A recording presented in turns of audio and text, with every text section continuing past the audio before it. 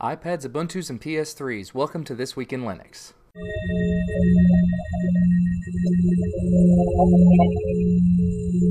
It was a huge week, guys. As you know, the iPad released last weekend.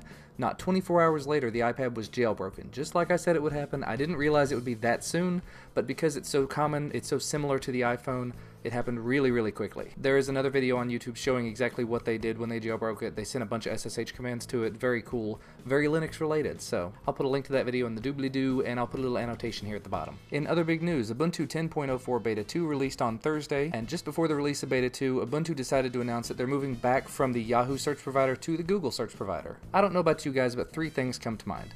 One, Yahoo didn't pay enough money. Two, Google paid more money because they have all the money in the world.